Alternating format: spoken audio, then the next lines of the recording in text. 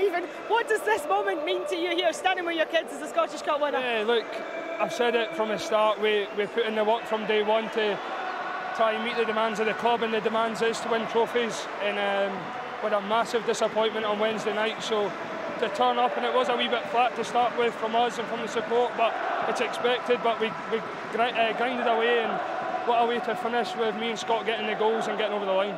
That's the thing when you're dreaming about making an impact in a cup final. I mean, it doesn't go any better than what you managed to write today. Yeah, look, I couldn't have dreamt any better to be honest. Uh, coming on and um, getting us ahead in the game, and then Scotty goes and gets a great finish.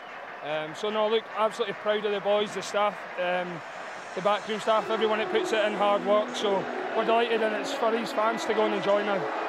Does it allow you to go away now for the, the summer holidays, you know, off the back of a positive result rather than the disappointment on Wednesday, and then come back fresh for next season? Yeah, that's always the aim. I think we've we've always got to look to aim higher and go and win trophies. And today was just another opportunity. We managed to take that, and then it gives us a chance on the off season to refresh and charge up, and then go again next season. James Tavernier said after the other night, this is just the start for this team under Giovanni Van Bronckhorst. Do you echo those sentiments?